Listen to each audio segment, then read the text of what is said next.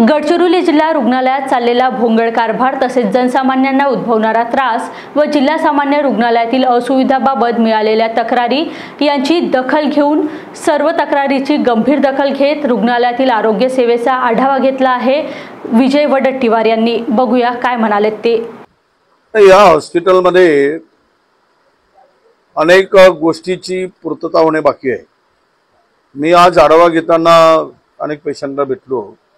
खरं तर गव्हर्नमेंटने इकडे रिक्रुटमेंट करताना अनेक जागा रिक्त ठेवल्या आहेत. अत्यावश्यक सेवा असताना त्या जागा तातडीनं भरण्याची आवश्यकता होती.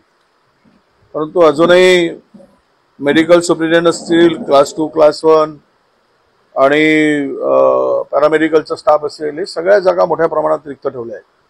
त्या तातडीनं भरायची मागणी मी करणार आहे. आणि काही त्रुट्या मला आढळून आल्या याच्यामध्ये अद्यापही पैसे देऊन आमचं सरकार होतं त्यावेळेस आम्ही पैसे दिले.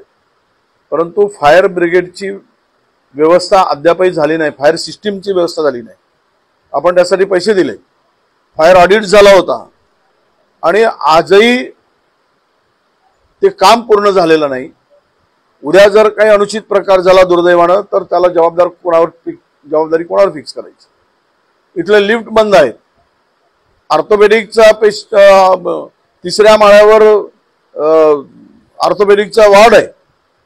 आणि त्या पेशंटला न्यायचा जर प्रॉब्लेम आहे हे सगळे काही गोष्टी फार मला या हॉस्पिटलमध्ये दुर्लक्षपणा दिसतोय.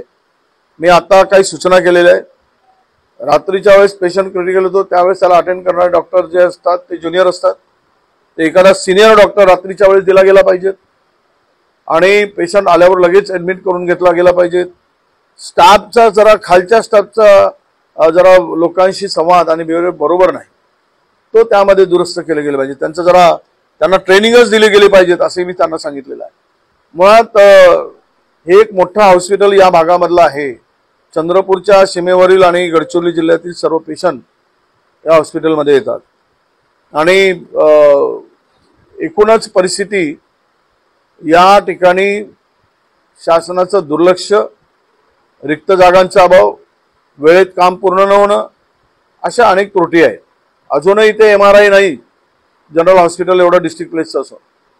अद्यापही कॉडियाक डिपार्टमेंट अजूनही झालेलं नाही. त्याला जागा उपलब्ध नाही. खरं तर या अत्यंत आवश्यक होत्या.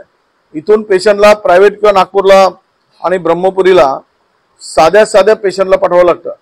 इथे एन्जिओग्राफीची व्यवस्था नाही एन्जिओप्लास्टी होऊ शकत नाही. म्हणजे पेशंट हार्टचा जर पेशंट असेल तर त्याला त्याचं निदान करायसाठी आपण काही करू शकत नाही अशा प्रकारची परिस्थिती आहे. या सगळ्या गोष्टीचा आढावा घेतलाय. काही गोष्टी मी शासनाला पत्र लिहून कळवणार आहे. विधानसभेतही काही विषय आम्ही मांडू आणि या हॉस्पिटलचे ज्या काही त्रुट्या आहेत त्या दूर करण्याचा प्रयत्न करू.